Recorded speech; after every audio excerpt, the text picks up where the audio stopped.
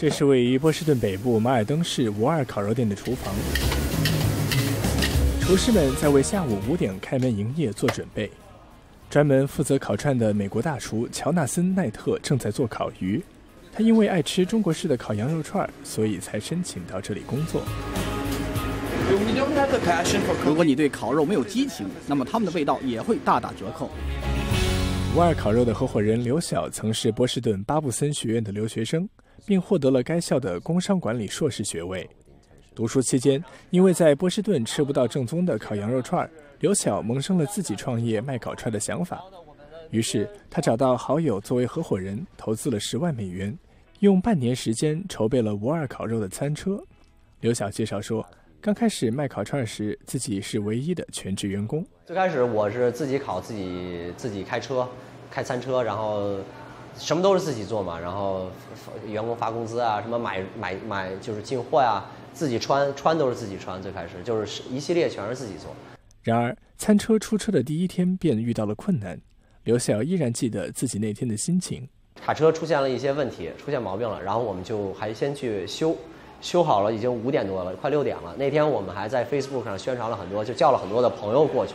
开到那儿了以后说，咱们应该就开张了吧，就开始了。然后我们把车一停，把炉子打开啊什么的，然后就有一些朋友就来了，然后我们就开始给他们烤。烤了大概二百多串羊肉串，烤到了九点嘛，就三四个小时的样子，就给我们俩累的都不行了。但是我们还挺挺挺高兴，就觉得哎，二百多串也也不错了，一块五一串嘛，那时候三四百块钱，我们就哎觉得如果要就能持续下去，这个一个月我们都肯定不会赔钱。刘晓介绍说，波士顿政府将指定的餐车运营区设置在市中心治安较差的区域。试图以此改善周围的环境。五二烤串的餐车就在中国城附近，那是个有名的毒贩聚集地，自己也遭遇过被打劫的经历。我们在那个餐车那个窗口那块儿有一个放小费的一个桶，然后呢，我们在那卖着卖着，一个人就从那个我们的餐车前面过去，就顺手把桶拿了，拿着就跑。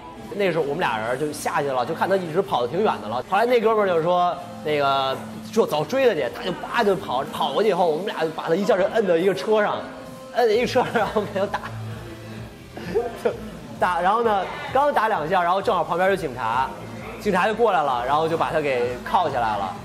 通过社交媒体，刘晓的烤串餐车很快在波士顿的华人圈出名，同时刘晓也会在脸书、推特、微博、微信公众平台上更新餐车的出车信息。刘晓说：“现在几个社交媒体平台加起来已经有七千多粉丝了。餐车运营了半年以后，刘晓的五二烤肉就开了餐馆。但开餐馆比餐车更加复杂。刚开业时，刘晓又遇到了没有想到的情况。有很多朋友，有也有很多我们以前的客户，大家都来了。那个时候，我我们整个饭馆都坐满了，坐满了，然后厨房根本就做做不出东西来。那个时候特别乱，有的客人可能坐了一两个小时，桌子上什么东西都没有。”然后我们就觉得，哎呀，怎么办呀？这个这个事儿，就每天关门了以后，我们就讨论，就吵。有一次，我跟我的那合作伙伴两个人打起来了，就动手了都。然后其他的就是其他的员工就劝，然后劝我们就都大家都很急，都想解决问题。那个时候真的不知道怎么办了，不知道第二天就不想开门了，都就无法面对这个这个这个现实。然后就每天晚上十二点关门，我们就讨论一通宵，在厨房里边摆东西，这个东西应该摆在这儿可能更合理，那个东西应该摆在那儿更合理。然后就坐在这儿就画这个，就写写流程什么的，就每天都研究，大概有有两个星期的时间，就几乎每天都是通宵，每天都是这个过程。如今，五二烤肉餐馆的运营已经步入正轨，而且很快将在波士顿西边的布鲁克林市开第二家餐馆分店。大概每天我们的销售额差不多四四千左右吧，呃，四千左右，就是对于这个规模的餐馆来说就不错了已经。然后，呃，雇员的话，我们现在有大概二十五到三十个人吧，就是兼职、全职都算上了。店里的一位美国雇员还向记者展示了他在店内墙上写的汉字以及他的无二烤串涂鸦。刘晓说：“攻读 MBA 学位为自己的创业之路打下了基础。”我会进行一些，比如说市场分析啊，呃，做一些市场调查呀这些，然后嗯，最，有一个比较长远的一个想法吧。我可能就是说现在打算在做餐车，但是我已经想到可能我餐车以后我要怎么去发展。刘晓在念 MBA 之前，曾经从事过五年的金融行业的工作，但创业一直是他真正的兴趣所在。他说，尽管妻子不情愿自己创业，但仍然很理解和支持。他希望我有以前那种比较稳定的朝九晚五那种工作，他不希望我自己去到外面去闯，就是是陪他的时间也很少，然后作息又不规律。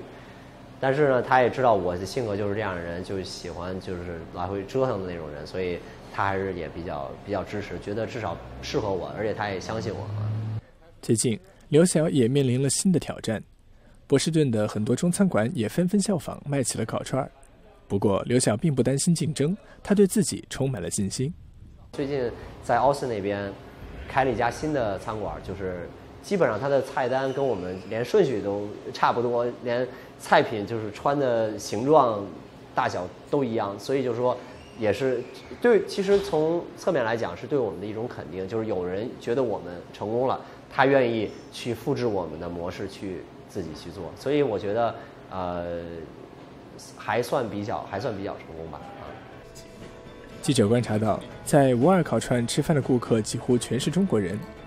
刘晓解释说，自己并没有本土化，去迎合本地美国顾客的口味的打算。相反，自己就是要坚持做独一无二的家乡味的烤串。美国之音初晓黄蜂特约记者路易波士顿报道。还不错，挺嫩的。